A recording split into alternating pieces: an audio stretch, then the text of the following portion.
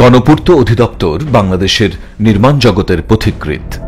মাননীয় প্রধানমন্ত্রীর অনুশাসন অনুযায়ী সরকারি কর্মকর্তা কর্মচারীদের আবাসন সুবিধা আট শতাংশ থেকে চল্লিশ শতাংশ পর্যন্ত উন্নীতকরণের লক্ষ্যে গণপূর্ত অধিদপ্তর ইতোমধ্যে নয়টি প্রকল্পের মাধ্যমে তিন হাজার বারোটি ফ্ল্যাট নির্মাণ কাজ সম্পন্ন করেছে। নয় হাজার সাতশো চৌত্রিশটি ফ্ল্যাটের নির্মাণ কাজ চলমান আছে। সবগুলো ফ্ল্যাটের নির্মাণ কাজ সম্পন্ন হলে আবাসিক সুবিধা প্রায় বাইশ শতাংশে উন্নীত হবে। প্রধান প্রকৌশলী জনাব মোহাম্মদ আশরাফুল আলম, সারা দেশের প্রকল্পসমূহ দ্রুততম সময়ে বাস্তবায়নের জন্য ইতোমধ্যে থ্রি কিউ নীতি ঘোষণা করেছেন।